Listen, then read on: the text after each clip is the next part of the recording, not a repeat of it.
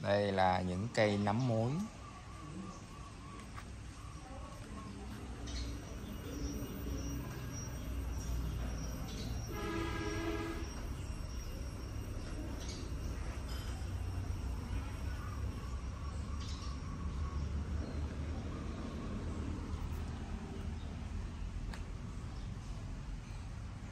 nấm muối rừng thông với lại nấm thông.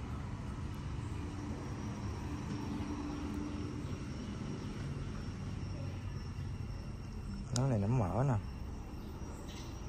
Nấm, nấm sữa với lộn. Cái này nấm sữa.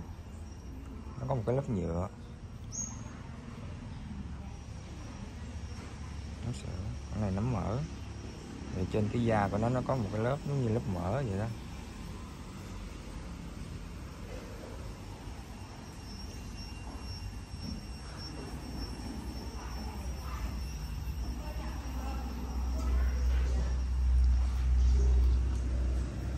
Này xào ngon xào tỏi cũng ngon.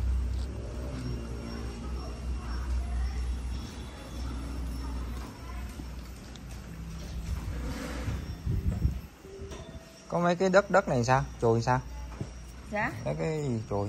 Tưới này chui nó lại hết đó cậu khi nó khô mình ngấm lên nó ra không ý nó cái đất nó dính á. Phải phải phủi phủi ra chứ. Chị Hoan đi mua thuốc uống thôi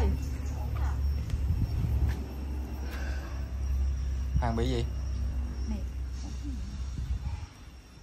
À, cái quá vậy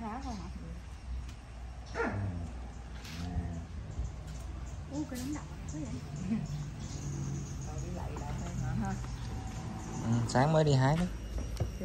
Nó đừng có để cho nó chồng chồng lên nhau thì nó mới khô nó đẹp được phải không? Dạ. Đúng rồi mà. Đáng tưới này sao anh mấy hôm nữa nhớ phải canh me chứ không là mưa xuống một cái rồi ướt nhem hết á nha. Mà sao phải nào mà lại mà ngâm nước cho nó sạch đi.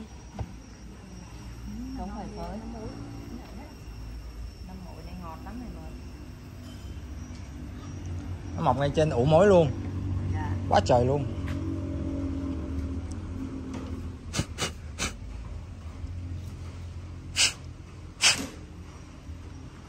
Hơi dính bụi đất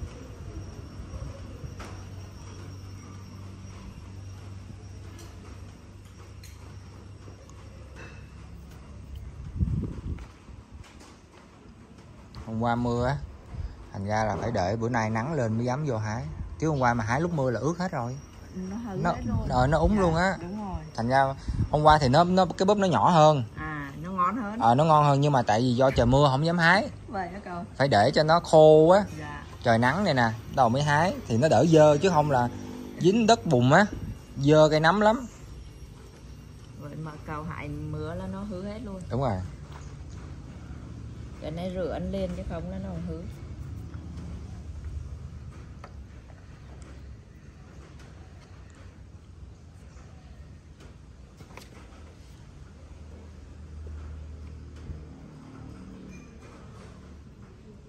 nó để còn có khô rồi đóng hộp. Nậm tự nhiên này nó ngọt lắm cậu. Dạ. Nó ngon hơn đồ trồng nhiều ha. Dạ ngon hơn trong núi chứ nó tự nhiên mà. Trồng nuôi thì như cái dinh dưỡng nó cũng đâu có nhiều đúng không? Dạ nó xịt thuốc á cậu. Ghê vậy? Ừ thì thuốc nó kích thích nó ra muôn cứa à. Dạ nó có cái phổi cậy vào rồi mình xịt thuốc làm cho cả cái trái nấm á. À. Vậy độc nấm nuôi là độc hại hả